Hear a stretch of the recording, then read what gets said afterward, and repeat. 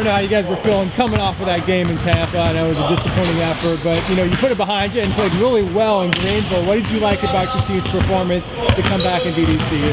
Uh, I like how we got our assist numbers back up. Uh, we're used to passing the ball, averaging around 15 to 17 assists a game usually, and uh, we got away from that, which is why we've been losing a lot. So just us being able to play together better, and uh, it led to different opportunities for us during the game. That specifically, Dazon just got 10 assists. I mean, how how good was he in that game? It was amazing. He got our shooter, he got our shooters open shots, and he made plays for me easier down low. Tulsa's been you know near the top of the league in first place, and there's kind of a logjam now in first. But they've been playing really well this year. Not many people expected them to play as good as they have. Just from what coaches showed you and everything, why do you think Tulsa's been so good this year? Uh, just their ability to stay aggressive and keep the other team passive.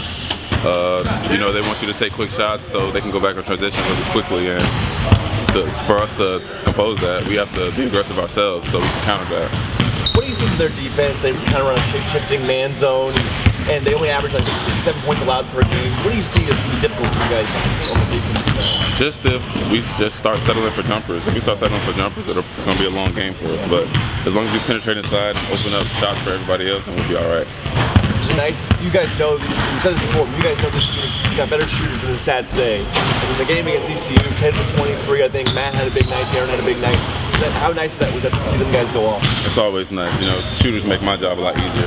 Make, makes me have more space down low. So when they're hitting, you know, we're, we're all going to have a good game. What was that game also like for you? Because you were doing a lot of good work in the first half and, and were able to stay out of foul trouble. And, and you, how that paid off? Yeah, I'm just trying to move my feet a lot more. I'm trying to get myself out of positions where I could pick up a foul, so I could just alleviate a foul at all. Coach said it, you feel like you just weren't pressing. Did you sense that out of you?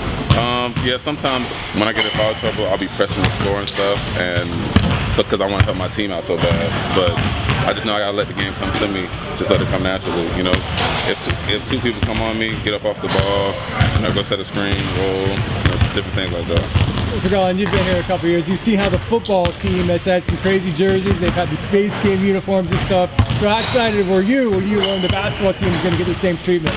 Oh man, finally. I mean, I was hoping on us getting some new uniforms soon, but this is a good time for us to have them, and I'm happy to wear them all. So you probably were you're involved in the photo shoot, so you knew like before the season, right? Mm -hmm. When you do that. So what was your kind of initial reaction when you saw those? I mean, I love them. They're sweet, smooth, slick and you know, my number looks nice on it, so I'm ready to play in it.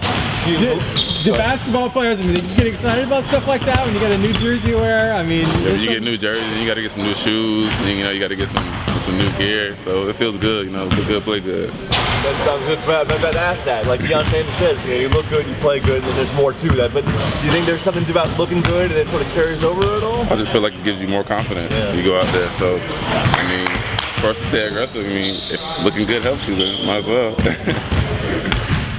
you Thanks, luck, Good luck tomorrow.